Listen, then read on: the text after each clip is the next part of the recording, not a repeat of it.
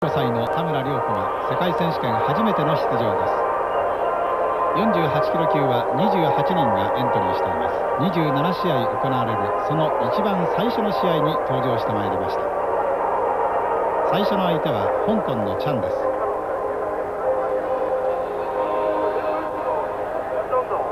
初めて世界の強豪と対戦します。さあ最初の試合が始まります。香港のチャン。相変わらず田村の速い動きを見せます。全く硬さはありません。この背負いの得意技。しかしポイントにはなりませんでした。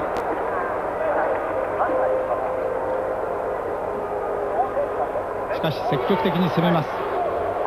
この払い腰有効を取りました。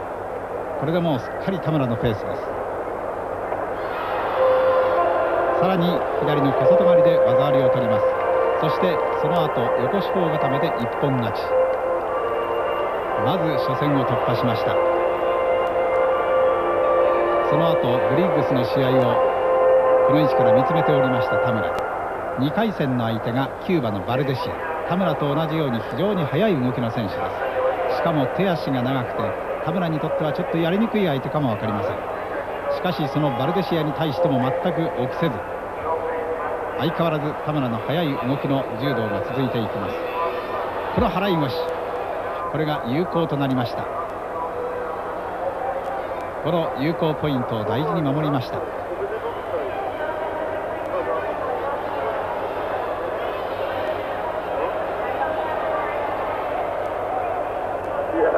このバルデシアの攻めをしのいで結局この試合判定。内容は有効で勝ちました。さて田村の3回戦の相手ユーゴのマルコビッチです。依然として速い動き。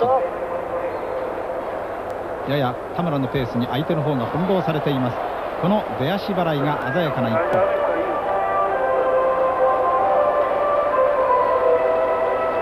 すぐ抑え込みが入りましたが出足払いが1本となりまして一本勝ち。思わず笑顔が出ます。そしていよいよ決勝進出をかけましたイギリスのブリッグスとの対戦になります。昨年の福岡国際以来の対戦です。その福岡国際の雪辱を競うというブリッグス。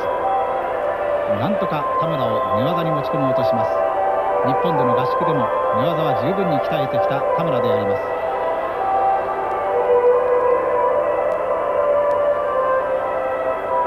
ブリッグスも慎重です。そしてこの田村を寝技に誘い込んでいきます。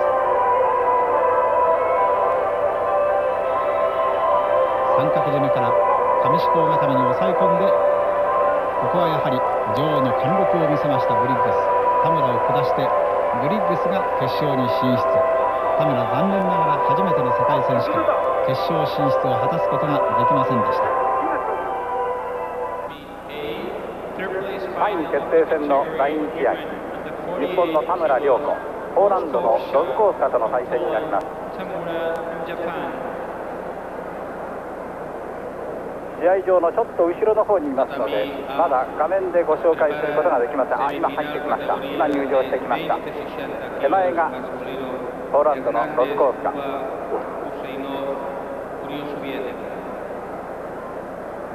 今日は田村選手ものびのびとこう試合をしていたと思うんですけれども1回戦2回戦3回戦と順調にこう勝ち上がってきたんですが最後はあのブリッグスの壁にぶつかりました。そうですねしかし初めての世界選手権15歳で初の世界選手権3位決定戦に出場しています。試合が始まりました。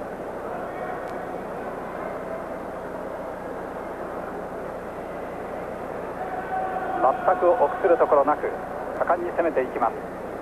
とにかく前によく出ます。いいみたいですね動きが、やはりあの敗れた後はですね随分ショックだったようですけれども、ええ。少し時間が空きましたんでね、はい。気持ちを切り替えていると思います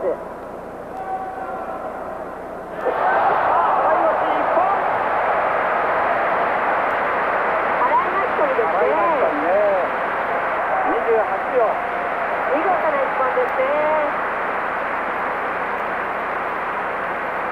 事な一本ですねやわらちゃんやりました。足を決めました。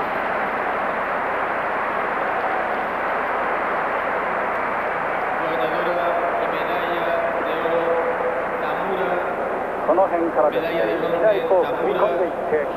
抱え込んでしたですね最後いい技が出ましたね。えー28秒で決めましたああのブリッグス戦の鬱憤を晴らすようなねそうですね、えー技のキレも見せました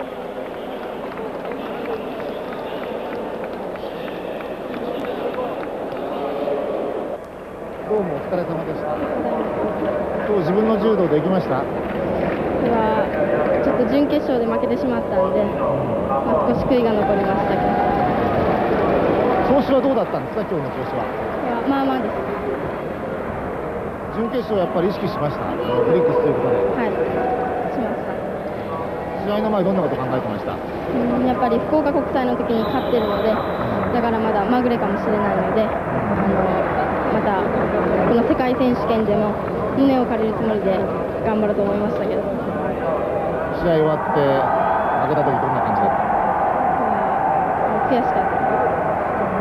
この3位という結果にはどう思ってます？はまあ、このこの試合をバネにまたいろんな大会で良い成績が残せるように頑張っていきたいです。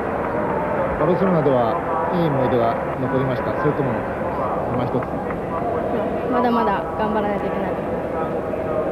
の大会はその自分にとってどんな感どんな大会になりました？やっぱりいろんな反省点っていうかそういうふうなのがたくさんあったんでまた1年間最初からやり直して頑張っていきたいです。当面の目標は？うーんは12月の福岡国際とあとまた来年の全日本体重別選手権です。そして来年はもう一回バルセロナで。あ頑張ってきます。